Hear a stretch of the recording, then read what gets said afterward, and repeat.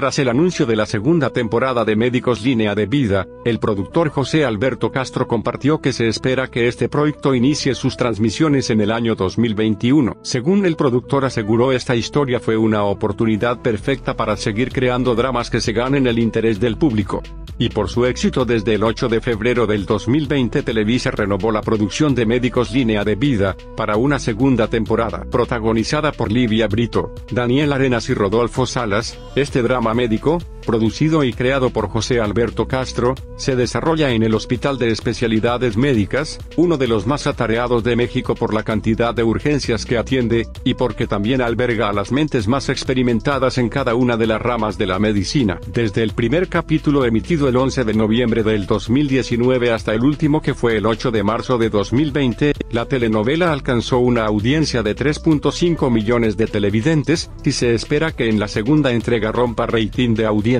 Recordando un poco de la drama, inicia con el doctor Gonzalo Olmedo, un idealista y abnegado médico internista, que es designado director tras la repentina muerte de su antecesor. Al asumir su cargo descubre el complejo funcionamiento del hospital que tiene las carencias propias de un sistema de salud pública en crisis y problemas de corrupción. Para llevar a cabo la transformación, Gonzalo recluta a un grupo de destacados profesionales que curan los casos más complejos, y al mismo tiempo deben de sanar las heridas de su propia vida. En el último episodio vivimos momentos impensables como cuando David sufre un accidente a bordo de la ambulancia del hospital y es atendido por Arturo, su rival en el amor, quien dejó todo la enemistad de lado y le salvó la vida. Regina por su parte, prefirió perdonar a David e intentar rescatar su amor, luego de tantos momentos difíciles. Finalmente, Mirella testificó en el juicio de Gonzalo, y señaló a René como el responsable de poner el medicamento en el cuarto de la esposa de Gonzalo, quien después de eso fue absuelto, y regresó como director del Instituto de Especialidades Médicas.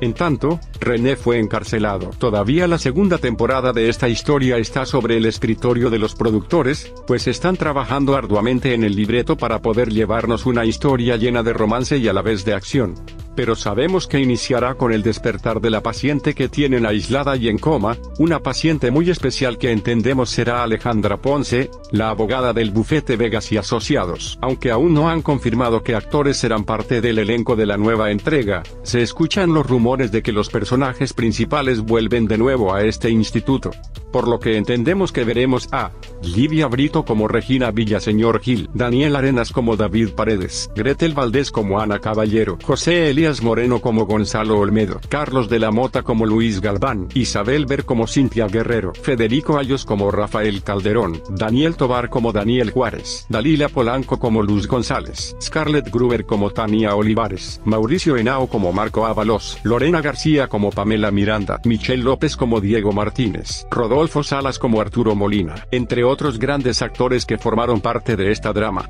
Estén pendientes a los próximos videos donde les estaremos informando sobre cualquier nuevo detalle de esta nueva temporada de Médicos Línea de Vida. Vamos a hacer una segunda temporada, la cual se plantea para el próximo año.